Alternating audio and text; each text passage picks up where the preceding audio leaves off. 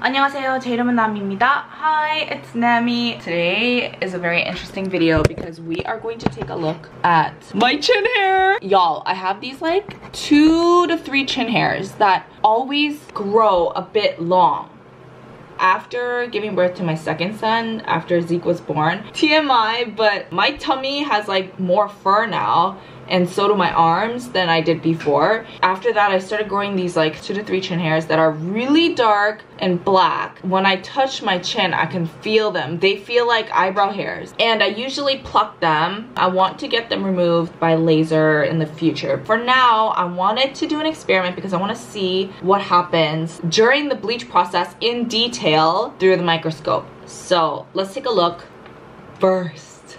Oh my gosh, that's a lot of hair even like not where it's thick, that's a lot of hair. This guy I plucked out about like a few weeks ago, but he looks like he really wants out and he's he's coming out.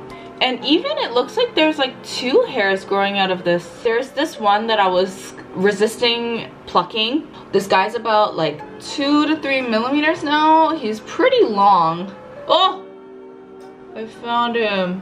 You see this sister? This sister here is thick. This one right here, you see that? Yep, that is a true chin hair. This is the chinny hair talking, okay? Do you see that? Compared to the rest of the hairs, it's so thick. In person, if you look at my chin, you'll see him there. He'll say hi. He really likes people. He likes to be involved with conversation. So I'm planning to put some bleach on him and observe what happens to the specimen.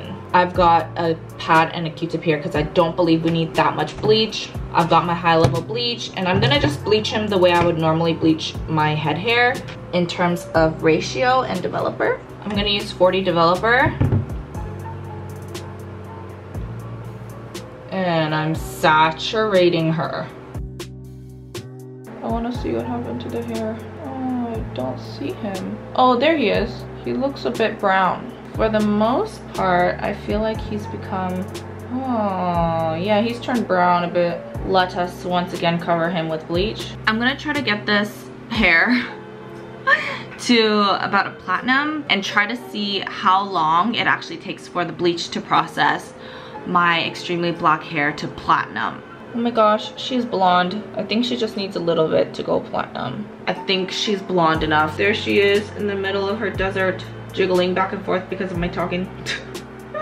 Look, she's even clear. Look at that. And she didn't snap off. Also, my skin around the area does not look at all red or irritated. I did use a sensitive scalp developer. It's a sensitive skin version of bleach developer. So that may be a contributing factor, but I did hear some people getting red irritation on their eyebrows when they were bleaching their brows, but I would definitely recommend go with a lower volume or a sensitive version of your developer if you find irritation is an issue for your skin. She looks good to wash. Let's wash her. This is the sign. Thank you, Maryann, for making it for me. Oh my gosh. We met her in Chicago when we were visiting. I don't know how she attached this. Maybe she got her parents to help. But like, this is like legitimate. And it like warms my heart because the fact that you even enjoy this series of like me just trying to figure out life. Like, I feel like you feel it. You know what I mean? That's what I feel when when we receive your comments, we read like 98% of all your comments. We feel what we want to say to you, whether indirectly or directly, to keep going, to work hard. Oh my gosh, I'm gonna cry.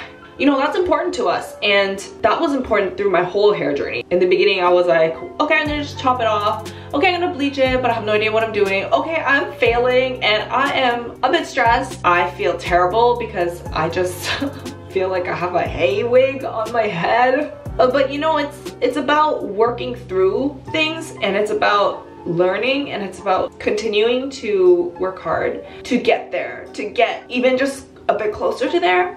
And I don't mean just for hair, I mean for everything. And that's why it really touches me when, you know, you come and meet us, you send us your letters. I feel like how I want to encourage you has been delivered and you value that and you accept that. And I want you to apply it to your life because that's how you grow and that's how I've grown. And I think everyone comes from different places. Why am I crying? This is me, a video of me bleaching my chin hair. Girl. Like, you know what I mean. You like, you know what I'm talking about. Anyway, let's take a look at this bad guy. I just want to say thank you. Thank you. Thank you all of your love, all of your messages, all of your comments. We see them. We want to work harder for you. If you do have any suggestions, please let us know. Any ways we can improve our videos, please let us know. Let me stop talking. Let's look at this little guy. He was quite clear. Where is he? I don't know why I keep switching between he and she. I'm sorry. This hair just, I feel like it fits both. You know what I mean? Just depends on the context. I mean, it's a hair.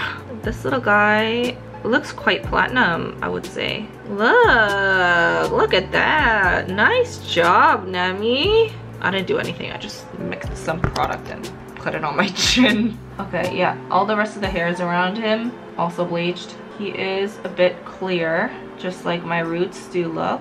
Not as clear as my roots because I do leave the bleach on my roots for about an hour, but quite clear still. See, now you can't see him. Oh yeah, you can still see him a bit. But when it was black, this guy was just sticking out. He wanted to be seen. He wanted all the attention.